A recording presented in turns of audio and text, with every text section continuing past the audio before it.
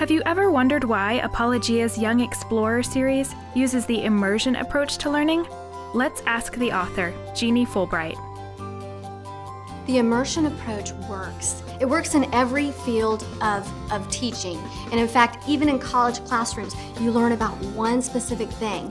That's what you're taking a class in because that's how it works to really learn something. If we touch on tons of little topics, children really never go deep enough to really know, understand, and learn a topic. What the immersion approach does is it, is it gives the children a deep knowledge of a subject and it actually builds their confidence and it gives them the tools to actually know science because all science fields correlate in many different ways not only the terminology but the processes so by immersing deeply in one field a child actually will score better on standardized tests because they understand science they're not learning meaningless facts and figures. They understand and know science well.